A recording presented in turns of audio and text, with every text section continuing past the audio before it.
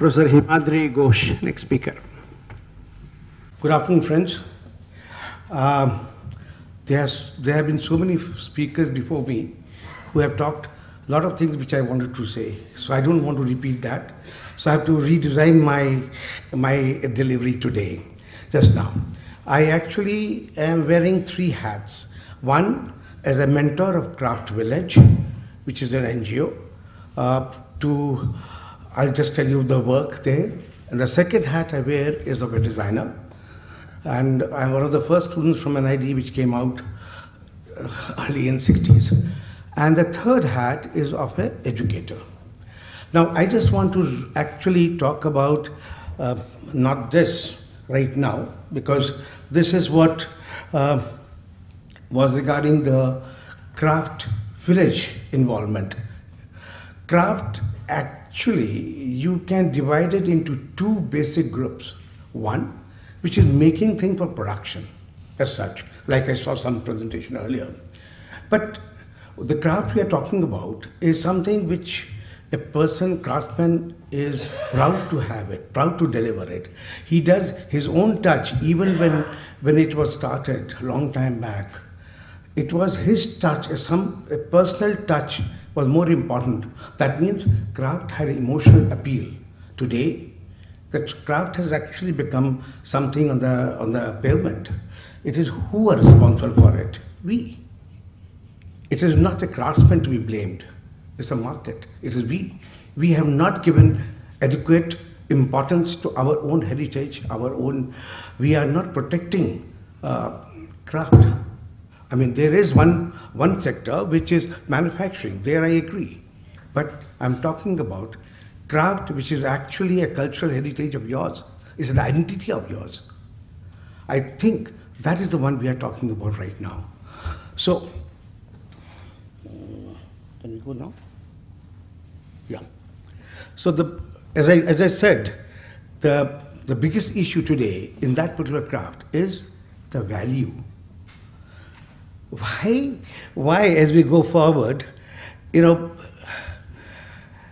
here all today, everybody is talking about the craftsman giving it. The craftsman does not require reskilling. He doesn't require. It is the question is the we need to add value to it. The craft sector which I'm talking about is actually second only to agriculture in the village.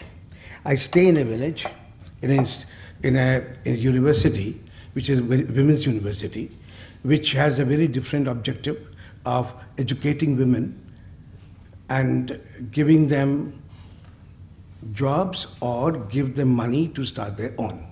Now, so why, I have gone there is only to have a to get change agent made, made, you know, make change agent. Because today the rural economy requires change agent. Whatever we saw are small, small action. How do you transform into something which is more mass produced, something the whole, whole of village or all villages here? we require that mass, that critical mass of change agent. So our thing should start from education, right from education, not from the craftsman. So we need at present, because if we don't revisit craft, we'll kill the greater craft which we have. And I suppose at present, craftsmen are the real backbone of the non-farm rural community. We are about 200 million artisans. We have a lot of design houses who are making handmade products, but even then, if we have Delhi Haat and Dastkar, all of them, uh, Fab India, but still, we have big, huge gap. And uh, and again, if you see, every year about 30% of the 30% uh, of the uh, craftsmen go back to maybe making roads. So anyway, let's leave the craft for a while and I'll go to the, put on my designer hat and give you some of the, um, because the time is running out, uh, uh, some of the had uh, some of the uh, experience of mine. One experience is in Banaras for a for a uh, um, an, NGO called Jula. Banaras is we think we give it to a weaver and uh, the middleman takes all the money. What we did was we chose a family, five families, right from design to implementing, and chose a, a guy from there who can do market.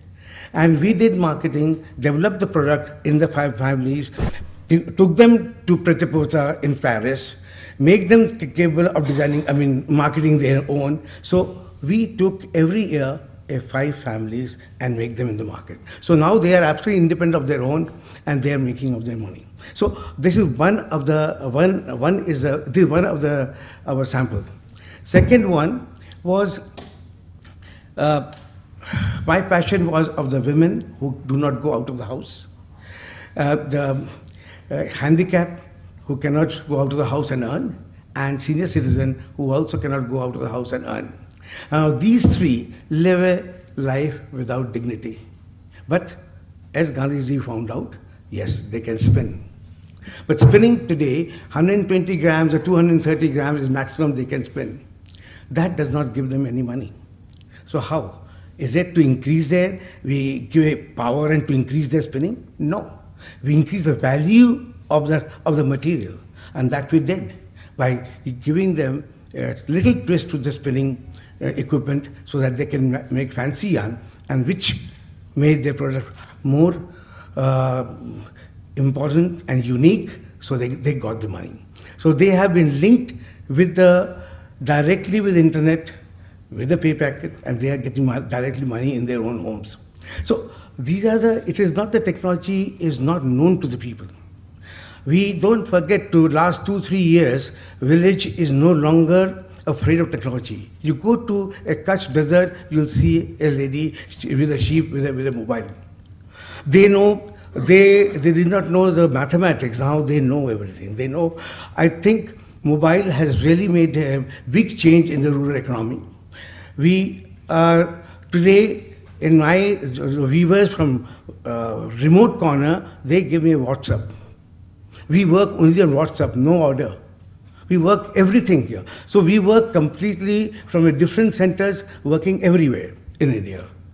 So I'm, not, I'm sure technology is not a, not a challenge for rural sector. What I'm afraid of, we don't have enough people who can be change agent, who can take the technology, take all the, all the innovations which you have done to the villages. Thank you.